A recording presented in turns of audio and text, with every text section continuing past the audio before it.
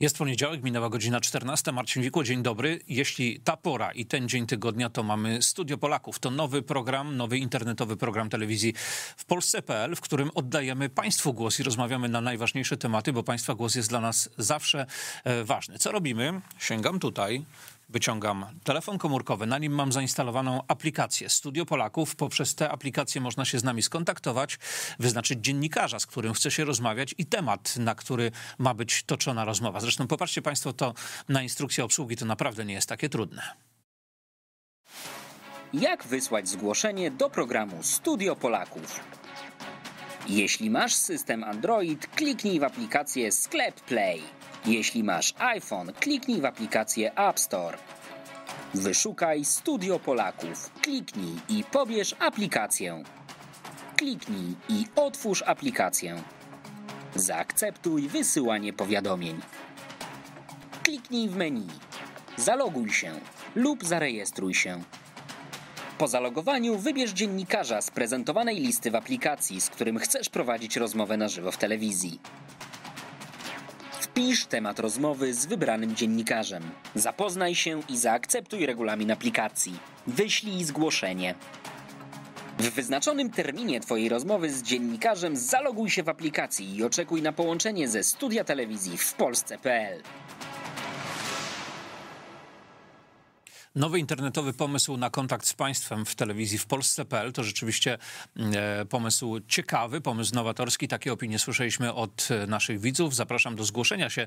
E, ta instrukcja jeszcze raz do obejrzenia na stronie www.studiopolaków.pl. Tak też nazywa się aplikacja, którą można w internetowych sklepach w waszej telefonii komórkowej sobie odnaleźć, zainstalować, a potem to już tak naprawdę poprowadzić. Czekamy na państwa zgłoszenie. Tak jak mówię, www.studiopolaków.pl. Tam jest cała instrukcja. Można również do nas dzwonić za chwileczkę pokażemy Państwu e, numer telefonu i w tym momencie oczekujemy e, na te e, zgłoszenia. Telefon 22, telefon do studia 22 463 49 99. Przypominam, ten program odbywa się codziennie po godzinie 14.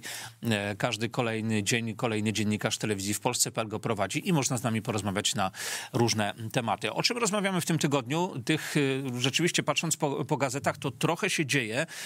Poniedziałek to dzień tygodników, więc najpierw spójrzmy e, na tygodniki. Temat e, tygodnika wprost, w zasadzie to od wprostu się kiedyś zaczęło kulisy e, afery taśmowej. Sylwester Latkowski ujawnia, co też działo się na tych taśmach. To dobrze pamiętamy, jaki wtedy był boom, jak to się wszystko wydarzało, kiedy afery, kiedy afera z, z taśmami, z, z taśmami z, i Przyjaciele oraz Amber Room z dwóch restauracji wyniknęła. To był najbardziej rozchwytywany tygodnik tygodnik, który jako pierwszy pisał o aferze taśmowej. Kulisy afery taśmowej proponuje Sylwester Latkowski w tygodniku wprost. Y, spójrzmy na y, Newsweek. W Newsweeku Zemsta czy kara, epatowanie tutaj wydawałoby się mm, na pierwszy rzut oka przemocą wobec zatrzymanego, ale to coś, co Państwo widzą, to nie jest żaden chwyt przemocowy, tylko tak zwany chwyt transportowy. Każdy policjant będzie wiedział o co chodzi, albo każdy z osób, które ostatnio się zainteresowały tym zatrzymaniem człowieka, mordercy dziesięcioletniej Krystyni. Zemsta czy kara, czy podejrzewany o potworną zbrodnię mm, ma takie same prawa jak uczciwy obywatel, reportaż z Mrowin oraz rozmowa z profesorem Andrzejem E, Rzeplińskim. Można się oczywiście zorientować, pod jakim kątem to wszystko jest e, pisane. Mm, według Newsweeka i różnych podobnych e, innych mediów to jest kreowany człowiek na ofiarę, a ofiara tymczasem wiemy bardzo dobrze i trzeba zachowywać pełne proporcje, to zupełnie ktoś inny. Studio Polaków to nowy internetowy program telewizji w Polsce.pl. Przypominam o numerze telefonów 22 463 49 99. Zachęcam do dzwonienia. Porozmawiajmy o sprawach ważnych, porozmawiajmy na przykład o polityce, bo zachęcamy zawsze do przeglądania portalów polityce.pl, do czytania tygodnika sieci i do rozmawiania o najważniejszych sprawach. W tym tygodniu w tygodniku sieci e, temat okładkowy to Tak umiera KOT, czyli Komitet Obrony Demokracji, który kiedyś był takim pomysłem e, totalnej opozycji na to, jak obalić rząd PiS. Dosyć szybko to się nie udało, no a teraz kodu w zasadzie nie ma. Ruch, który gromadził dziesiątki tysięcy, dziś jest cieniem dawnej potęgi. Kolejny lider zrezygnował, aktywiści się rozpierzchli. To symbol klęski całego obozu trzeciej RP. Co poszło nie tak? Zastanawiamy się wspólnie z Markiem Pyzą. Zachęcam do przeczytania Mm, takiej analizy politycznej i po kodzie. W Komitecie Obrony Demokracji robią dobrą minę do złej gry. Ruch społeczny, który miał zmieść Prawo i Sprawiedliwość z powierzchni ziemi, niepostrzeżenie się rozsypał. Choć liderzy się zarzekają, że organizacja ma się świetnie i przygotowuje się do kolejnej walki przed jesiennymi wyborami, to nie sposób nie dostrzec marazmu, frustracji i wewnętrznych e, żalów. No i mamy pierwszą osobę, która do nas dzwoni. Przypominam numer telefonu 22 463 49 99. Pan Tomasz z Łącka. Witam serdecznie panie Tomaszu. Halo, halo, czy się dobrze słyszymy? Tak, dobrze, dzień dobry. Dzień dobry. Panie Tomaszu, jaki temat pana interesuje? Co według pana jest tym gorącym tematem? Najbardziej gorący temat to przez cały weekend, który się przewijał, to było oświadczenie pana Bodlara na temat zatrzymania tego pana podejrzanego o zabójstwo dziesięciolatki. No właśnie, jakie jest Pana zdanie na ten temat? Bo tak myśląc o człowieku, który zamordował dziesięciolatkę i to dosyć e, brutalnie, to pięści same się zaciskają do tego, żeby wymierzyć sprawiedliwość, a jednak druga prawda jest taka, że on też jakieś swoje prawa ma. Nie, ale akurat pięści się nie zaciskają do tego, żeby wymierzyć sprawiedliwość, bo samosądy to moim zdaniem to nie powinno być samosądów, ale wszystkie działania, które podjęła policja, były jak najbardziej prawidłowe, ponieważ to jest osoba niebezpieczna. Nie wiadomo, co mu przyjdzie do głowy w czasie tego zatrzymania, jakie ma plany, bo tak naprawdę to tylko on wie, jakie ma plany, a policja przede wszystkim to musi dbać o swoje bezpieczeństwo, żeby żaden funkcjonariusz nie był ranny, bo tutaj większe, no i o bezpieczeństwo tego podejrzanego, żeby też sam sobie nie zrobił krzywdy, co było podnoszone w czasie cały, cały weekend, że tak powiem, wszyscy to podnosili, porównywali do pani Blidy, że ona rzeczywiście, policja podeszła tak, no pozwoliła jej się czy ubrać, czy czy nie wiem, co tam zrobić. Wejść, wejść do toalety z tego, co dobrze pamiętam. Panie Tomaszu, tutaj Aha. ma pan rację, rzeczywiście człowiek niebezpieczny, niebezpieczny nie tylko dla policjantów, ale przede wszystkim dla siebie. Już sobie wyobrażam, jak, jaki byłby alarm, gdyby on sobie coś na przykład zrobił w momencie tego zatrzymania, prawda? Nie doczekałby tego procesu, który właściwie o ten proces nam chodzi, tak? Żeby ta sprawiedliwość, no powiedzmy, y, stała się faktem poprzez y, sąd. To jest druga, bo wszyscy wspominali panią Blidę, ale nikt nie wspominał też, jak policja weszła po dwóch niebezpiecznych bandytów w Magdalence. To może by trzeba było przypomnieć, gdzie dwóch policjantów zginęło. I co powie teraz pan rzecznik? No właśnie. tej rodzinie, rodzinie tych policjantów, którzy zginęli na służbie, tak? Panie Tomaszu, pan mówi, że wszystko odbyło się zgodnie y, z przepisami. Rzeczywiście pokazywaliśmy tę fotografię, gdzie widać człowieka takiego przygiętego do ziemi. Coś, co policjanci tłumaczyli, że to jest taki chwyt y, transportowy, że w ten sposób się po prostu więźnia y, Ale... prowadzi. A te kajdanki zespolone, bo to jest coś, co działa na naszą wyobraźnię, coś, co wszyscy Polacy się dowiedzieli, co to są kajdanki zespolone. Czy pan uważa, że takiego środka należało użyć wobec tego człowieka? Oczywiście. Te kajdanki pozwalają y, zablokować człowieka y, w całości, czyli on nie może za bardzo ruszyć ręką, nie może też ruszyć nogą, czyli nie zaatakuje policjanta.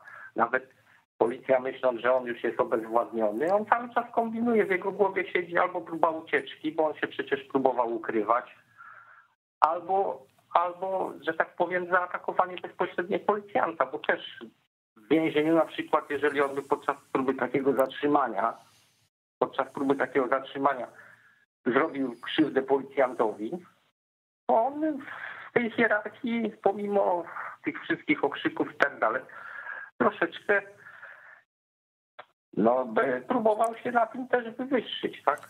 Panie Tomaszu, a jak pan uważa, dlaczego Rzecznik Praw Obywatelskich tak błyskawicznie taką interwencję podjął? Czy to jest trochę, czy, to, czy jest w tym polityka? Bo tak Nie mam pojęcia. Mówi. Rzecznik Praw Obywatelskich zajmuje się właśnie, tak jak yy, można obserwować, dziwnymi rzeczami. Nie zajmuje się tym, co potrzeba, czyli tak jak tu ktoś już podnosił, yy, obroną lokatorów w Warszawie, gdzie, gdzie były kamienice prywatyzowane na 140-latków i innych rzeczy i tam podobno tego, co ci państwo w telewizji mówili, oczywiście z ich strony, że za bardzo nie, nie zajmował się tymi sprawami. Zajmuje się sprawami, nie zajął się sprawą na przykład tej mszy, czy co była w, na paradzie w Warszawie też powinien się zająć, bo uczucia obrażone zostały religijne Polaków, bo to była parodia mszy. To prawda i rzeczywiście nie, nieprzypadkowo mówi się o nim, że nieprzypadkowo mówi się o nim, że jest strażnikiem i rzecznikiem pewnej ideologii, a nie e, wszystkich Polaków. Tak. Panie Tomaszu, dziękuję serdecznie za, za tą rozmowę i zachęcam do, do dzwonienia e, o 14 do telewizji w Polsce.pl. Codziennie spotykamy się w programie, który nazywa się e, Studio Polaków. Drogi do połączenia z nami są dwie, albo numer telefonu, który Państwo widzicie na ekranie, czyli 22 463 49 99, a druga sprawa, tak jak w zasadzie to byśmy sobie te połączenia życzyli widzieć, jeżeli Państwo chcą widzieć siebie w telewizji w Polsce.pl i w ten sposób z nami rozmawiać, to zachęcam do zainstalowania sobie aplikacji Studio Polaków w Waszym sklepie internetowym. Za darmo taka aplikacja będzie. Tam się logujemy, podajemy z kim i na jaki temat chcemy rozmawiać i widzimy się w telewizji w Polsce.pl. www.studiopolaków.pl. Tam jest pełna instrukcja. Rozmawiamy o sprawach najważniejszych, rozmawiamy także o polskiej polityce, bo jesień wydaje się będzie naprawdę bardzo gorąca, bo, bo mm, ta kampania wyborcza po mm, wakacjach, jak tak ruszy, no to naprawdę miesiąc z hakiem to, mm, to, będzie, to będzie coś błyskawicznego. Mamy kolejne zgłoszenie. Halo, halo. E, tak, dzień dobry. Pani, pani Grażyna z Podkarpacia, czy dobrze słyszę? Tak, tak, tak. tak. Witam serdecznie. Pani Grażyno, ja? czym pani jest poruszona? Jaki temat pani by chciała poruszyć? E, znaczy, ja w takiej sprawie, chodzi o sieć sklepów, konkretnie o Biedronkę. Jest tak, taka ekspansja. Ja jestem z mojej miejscowości, Zakliku. Tu jest gmina w wielkości 6 tysięcy mieszkańców i takie sklepy wchodzą. Tu jest nas handlowców, no sześć sklepów jest takich spożywczych i jak wejdzie taki no potentat, to wykończy nas, nas wszystkich. Państwo w ogóle nie ma wpływu na to, burmistrz też nie ma wpływu na to, bo to zezwolenia są, y, nie może zabronić, żeby weszła taka sieć nie, po prostu my się nie umiemy obronić przed tym. Czy, czy państwo coś robi, żeby się państwo, dziennikarze dowiedzieli, czy państwo coś robi w tym kierunku, żeby ta ekspansja tych sieci zagranicznych tak nas nie wykańczała? No mam wrażenie, że, takie... że, że właściwie całkiem niedawno, pani Grażyna, rozpoczęła się taka dyskusja, która chyba rzeczywiście nie została dokończona na temat tego podatku od sklepów wielkopowierzchniowych, żeby jakoś wyrównać szanse, żeby umożliwić polskim przedsiębiorcom, tym małym sklepikom, żeby umożliwić działalność i jakąś konkurencyjność minimalną chociażby, bo wiadomo, że z dużym sklepem tak, konkurować tak. oczywiście ciężko. A teraz y, moje pytanie y, do pani, czy te niehandlowe niedziele, czy ten y, zabieg jakby polskiego rządu spełnił państwa oczekiwania? Trochę to pomaga w handlu tym małym sklepikom i jakby wyrównuje to znaczy, te szanse? Jeżeli to jest taki sklep e, rodzinny, no to, to pewnie tak, to w niedzielę tam troszkę e, im to pomaga. A jeżeli to jest taki sklep, który zatrudnia pracowników, polski sklep oczywiście, mhm. no to wtedy wtedy to te, też nic nie daje, nie? No tak, to prawda, rzeczywiście, no bo, bo ci no, pracownicy no. też, tak jak i w zagranicznym sklepie, oni też muszą mieć, e, tak, muszą tak. mieć wolne. E, pani ma jakiś pomysł na to, jak wyrównać te szanse, czego polscy handlowcy potrzebują? To znaczy, do, do, szans się nie wyrówna, bo to nie, po prostu my nie damy rady takim dużym sieciom. Żebyś, żebyśmy się nawet złączyli, jakieś tam jest Polska taka sieć groszek, i co to z tego? Nic. My jesteśmy uzależnieni właśnie od tych zagranicznych podmiotów, bo nawet hurtownie, które są, to są w zagranicznych rękach. Także my, my jako handlowcy polscy w ogóle nie mamy wpływu na nic. Na nic w ogóle. No to zostawiamy to pani, tą pani uwagę i te pani pytania zostawiamy pod rozwagę polskiemu rządowi jako dziennikarze. Na pewno o to będziemy pytali. Pani Grażyna z Podkarpacia. Dziękuję serdecznie pani Grażyno za to zgłoszenie. Ja przypominam, że w Studiu Polaków spotykamy się w telewizji w Polsce.pl codziennie. Instrukcja obsługi, jak się z nami połączyć, jak zainstalować tę aplikację na stronie www.studiopolaków.pl e, albo dzwonimy do studia. Tak jak państwo widzieli, słyszeli przed chwileczką numer telefonu do Warszawy 22 463 40 39 99. To było Studio Polaków. Na kolejne zapraszam jutro po godzinie 14. Ja już za chwileczkę porozmawiamy o tym, jak z bliska wyglądała wizyta prezydenta Andrzeja Dudy w Stanach Zjednoczonych. Najbliżej poza samym prezydentem był tych wszystkich wydarzeń Jakub Szymczuk, osobisty fotograf prezydenta i on będzie moim gościem za chwileczkę w telewizji w Polsce.pl. Zapraszam.